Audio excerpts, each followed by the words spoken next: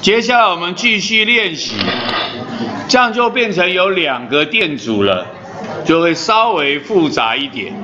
他问我电池提供的功率多少，一欧姆消耗的功率多少？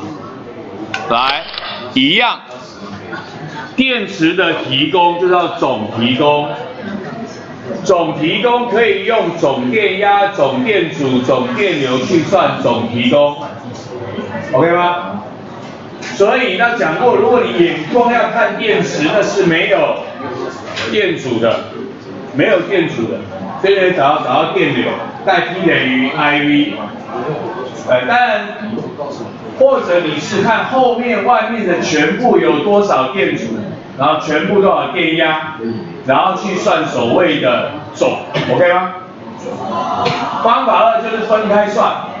看你两欧姆消耗多少，一欧姆消耗多少，然后总提供等于总消耗。当然这一题目前看起来这样做比较慢，为什么？因为两欧姆因为我什么都没有啊，既没有电压也没有电流，啥都没有，那球对不想啰嗦麻烦。总的有啊，总电阻有啊，总电压有啊，总的感觉会比较简单嘛，对不对？所以。我们就是算我们的总电阻，就叫做总消耗，总消耗，总电阻上面有总电压，全部的总电压，我们就会算出总消耗。好，总电压一点五，总电阻算要加起来三欧姆，然后呢，带进去，带进去，零点七五瓦。这个也是用所谓的总提供总消耗，但并不是分开算两欧姆跟一欧姆，OK？是我说，因为我如果要眼光只看电池，就要找到电流才可以。当然你也可以找电流带进去，答案对了，一样，OK？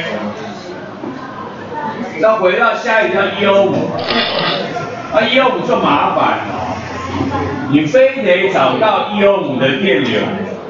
或者找到一欧姆的电压，当然数学好的人用想的，用比的方法就比出来了啊，总全部有零点七五，要分给两欧姆几分之几，分给一欧姆几分就算完了。如果你数学很好，观念很清楚，我也没有意见。啊，如果你没有数学没那么好，观念呢，你就慢慢做，慢慢做。我要想办法找到一欧姆的电压，想办法找到一欧姆的电流，带到公式里。我前面讲过了，我串联我找谁比较好？电流，为什么？都一样。所以我要找到 I 或 V 嘛。那我找谁呢？我找 I 嘛，我找 I，因为上面有总电阻，每个电阻都知道，我就有总电阻。上面有总电阻，上面有总电压，我就可以求总电流。它是串联，所以总电流跟分电流会一样，所以我就可以做出来。好，做。我们的总电压一点五，总电阻要两个相加。算出来总电流是零点五安培，那通过的总电流零点五安培，表示两欧姆也是零点五安培，一欧姆也是零点五安培，那就变得我晓得电流跟电阻，我晓得电流跟电阻什么公式可以让我求电功率，I 平方啊，带 I 平方啊，往里面带，就会算出来叫做零点二五瓦。你就知道答案多少，这又是我们的练习，可以吗？OK 吗？有人有问题不？没。